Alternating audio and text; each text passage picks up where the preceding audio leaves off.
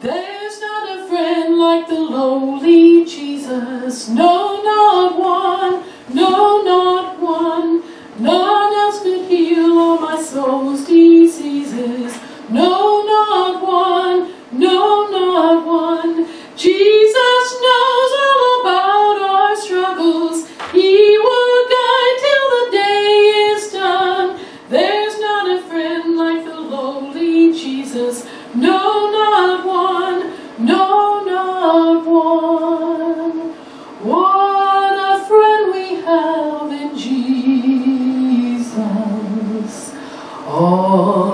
sins and griefs to bear.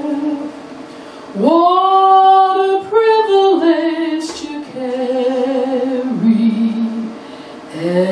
everything to God in prayer.